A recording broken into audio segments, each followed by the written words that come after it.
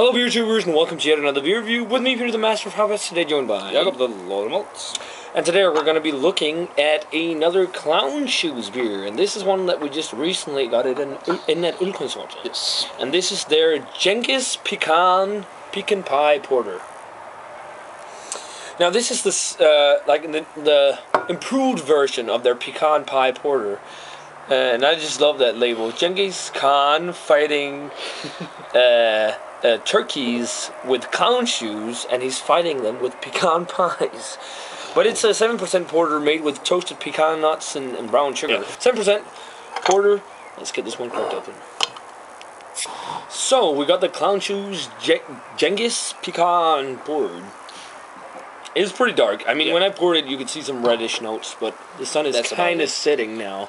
So um, We're catching the very last rays now. yeah, so you don't really get too much light through the beer, but um, it's a black color. It's got a tan head. Yeah, let's check out the other one. Definitely Wow. picking up a brown sugar. Yeah. I don't know if it's like especially pecan, but like a general toasted nuttiness. Yeah. Uh, kind of like the nuttiness you could get from toasting malt. Yeah. And also, this should be noted that this is a one year old bottle by now. So, this is not fresh at all. So, but, um, I'm definitely picking up on those pecan nuts, or pecan nuts, just general nuttiness. Chocolate, roasty, toasty nuts, Yeah, notes. Oak, kind of. Almost oak. Yeah, almost like a woodiness.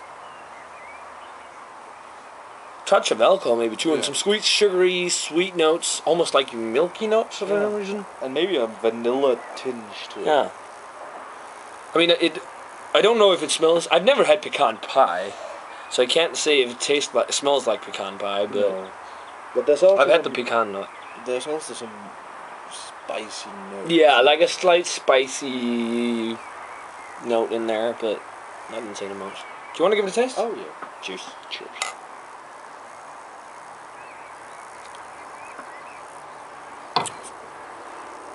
Oh, a lot of lot of nutty notes. Definitely the pecan is shining through. The mouthfeel is kind of lighter than I thought. Yeah, much lighter than I Uh, expected too. I'm sorry, there's a plate there. Uh, yeah, the, the mouthfeel is a, li- it's a little lighter than I thought, but the there's a kind of nuttiness going through. Yeah, and definitely you can taste the pecan nuts for sure. I think Yeah. it's like this toasted pecan kind of flavor. Yeah. Um, along with a, maybe a hint of vanilla and then some sugary brown sugar notes. It's not the most complex of porters. No, not at all. It, but it really uh,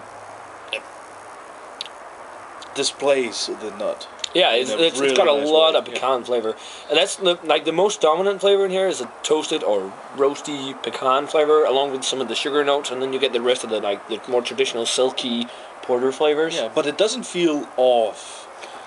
Oh no, and it, even though it's old, it, I don't feel like it tastes like it's missed a, missing a lot of flavor or anything. No. I mean, it might have had more brown sugar and pecan flavor when it was fresh, but I'm not sure. A little bit, of, little bit of a slight caramel flavor in there as well.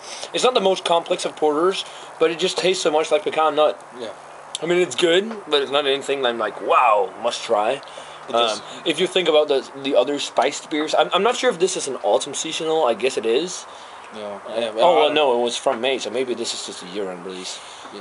But um, Uh, May last year. yeah, May last year, so it's, it probably is. Oh, it almost has like a hint of spice too. Yeah, kind of like in pumpkin pie. It's kind of like a pie-ish. Yeah, but not, a as much. Pie. I mean, it's not as much in something as in something like uh, pumpkin, pumpkin. No, which no. is just crazy and awesome. but but it still have, have that kind of like Spicy, spicy yeah. note. yeah, It's, it's more not balanced, but it's more yeah, it's, it's more more balanced. yeah, more balanced and more beer and porter like than like tasting like an exact pie. That said, it's still pretty good beer. I mean, it's nothing I'm overjoyed by, and it's nothing I'm overly disappointed by.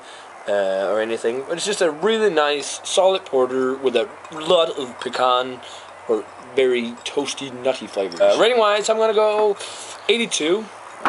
It's not the best I've had from Clown Shoes. I mean, my favorite is still Blaecorn Unidragon and Vampire Slayer. But we'll see. I have the Chocolate Sombrero to review as well, which should be interesting. So, or we have. So, yeah, 82 for me. It's 85. I have not nothing much else to say. It's not overly complex of it for a porter, and that's just the way I like it. Kind of like just Mm. A great catching this last on Ray beer. um, yeah, So 85. Yeah. Not much. Pecan nut, nice. Yeah. So yeah, guys, that does it for the clown shoes. Genghis pecan, pecan pie porter. uh, definitely let us know what you think of this one, guys. If you've had it, does it taste like pecan pie fresh, or is it just a lot of pecan nuts? Let us know.